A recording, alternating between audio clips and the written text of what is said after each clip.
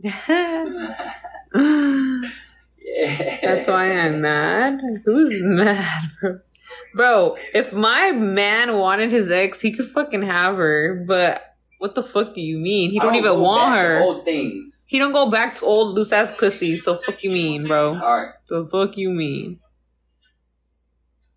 The I- fuck are you talking about? He's gone for real. Like, bro, if he could tell me right now, bro, if he wanted his ex for real on some real ass shit, bro, he could literally tell me, and I would be perfectly fine with that. Like, that's fine. Like, I know how shit goes. You feel me? Like, but that's not the case. Like, y'all swear.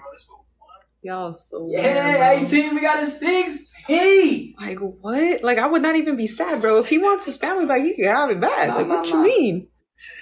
You feel me? Like, yeah, he don't.